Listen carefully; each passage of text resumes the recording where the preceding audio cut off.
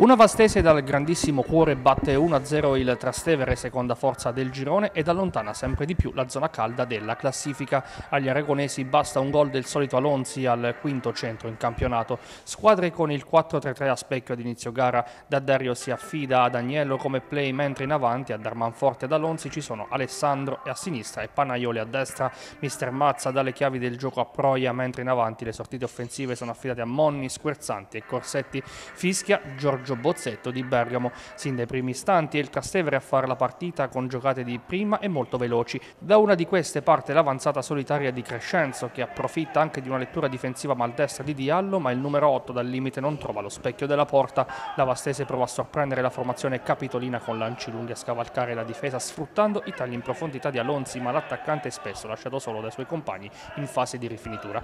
I padroni di casa però prendono le misure al Trastevere che inizia ad arretrare il proprio baricentro e da 5 5 dal 45 trovano la rete del vantaggio. Alessandro recupera il pallone e impegna a terra sul primo palo il portiere Semprini con la difesa che poi si rifugia in corner dagli sviluppi del calcio d'angolo. Dopo un batti e ribatti Alonzi sotto misura a trovare la deviazione vincente nell'angolo basso alla destra del portiere. Gioia per lui che festeggia così il terzo gol consecutivo.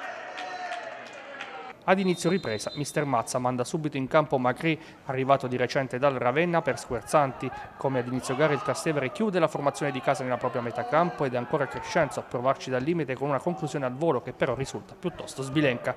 Il tecnico ospite non è soddisfatto dei suoi, così toglie dal campo anche Monni per inserire Fioretti, ma è la Vastese a sfiorare il gol del raddoppio. Bene Alonzi a liberarsi in profondità, una volta girato il diretto avversario calcia a giro, ma lontano dalla porta. Ancora i padroni di casa pericolosi che sfondano sulla fascia di sinistra con l'1-2 volante tra Alessandro e Diallo con l'attaccante che al momento del tiro viene contratto in corner. Mister Daddario nel finale di gara non vuole correre rischi ed inserisce Allegra per irrobustire la difesa, il Trastevere però non ne ha più e così la Vastese dopo 4 minuti di recupero può festeggiare il terzo successo consecutivo in campionato. Ora per festeggiare un buon Natale bisognerà battere anche il Porto d'Ascoli. Mister Novastese che ha un grande, grandissimo cuore e porta a casa un risultato contro una squadra tostissima.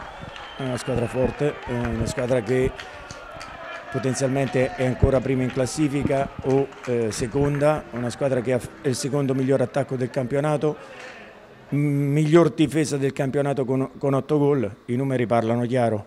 Eh, noi abbiamo fatto una prestazione diciamo, molto attenta dove sapevamo che non potevamo sbagliare una palla e sapevamo che dovevamo realizzare con una o due occasioni che, eh, che ci capitavano. Siamo stati bravi e fortunati. Si è arrabbiato molto in panchina, ma si è arrabbiato perché sicuramente abbiamo visto voleva spronare i suoi giocatori a dare quel qualcosa in più che oggi serviva tantissimo.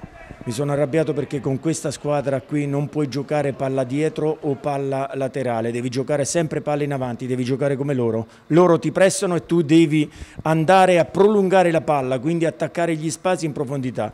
Nella prima mezz'ora non l'abbiamo fatto e siamo andati in difficoltà perché loro non ci hanno fatto uscire quasi mai. Però parliamo un po' anche di questo mercato che si può chiudere tra poco, che cosa potete attingere, che cosa potete trovare sotto l'albero di Natale?